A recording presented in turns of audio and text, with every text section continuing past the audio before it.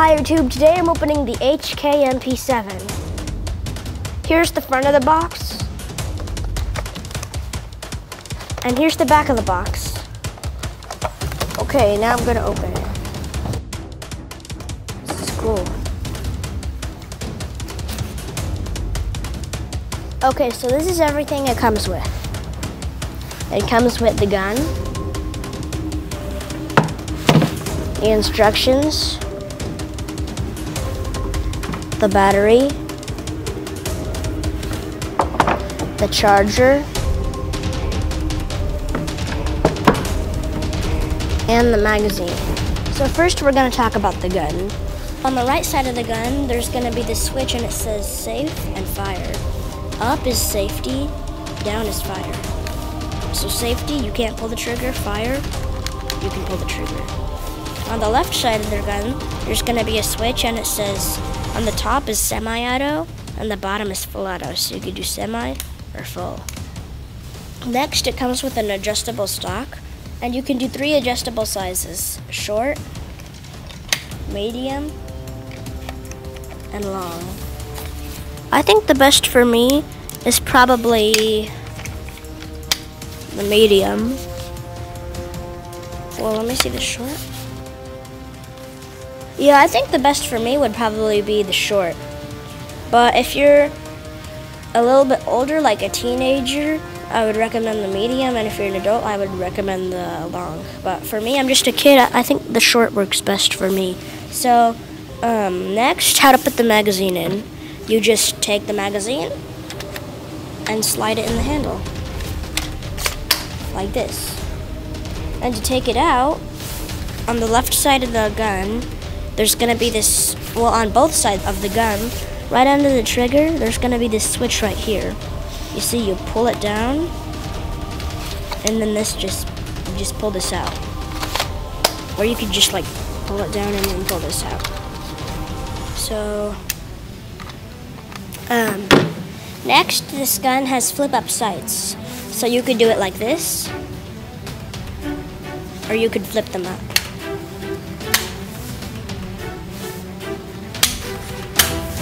And what's cool is if you don't like a stock or you just don't want a stock, you can pull it all the way back and there'll be a switch right here. So you just pull it back and take it off. And now you don't have a stock. And you can put it back on if you want. I'd rather have the stock on. It's it's like it's it, if you have the stock on, it's more accurate. And last, there's the grip. When you get the gun in the box, the grip will be on, but you can take it off by simply unscrewing this, taking it out, and then you'd have to push this button here. You see, this comes out and pull the grip off. But I like the grip, so I'm just gonna keep it on.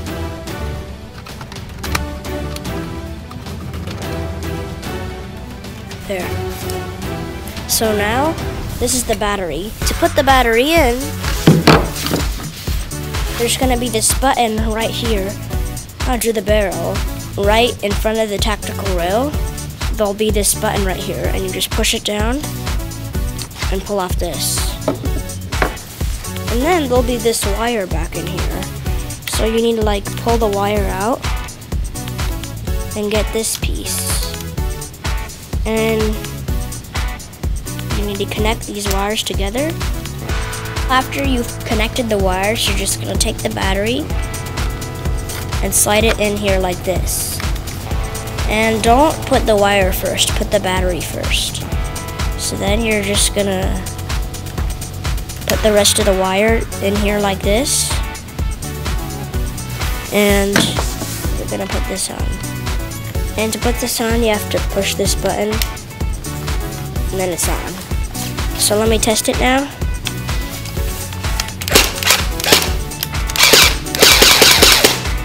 Okay, yeah, it works, but but that was just a testing.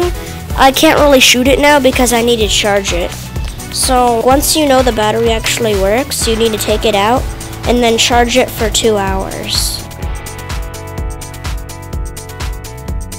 So you unplug this, put this back in.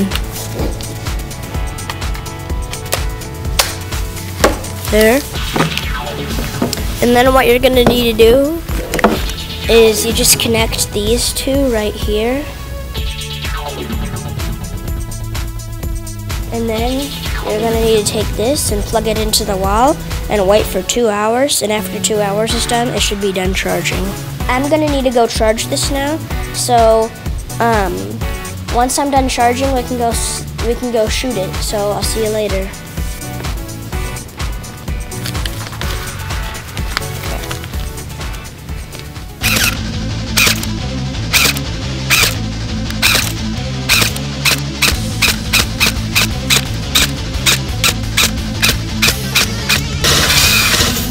Okay, now I'm gonna do it on full auto.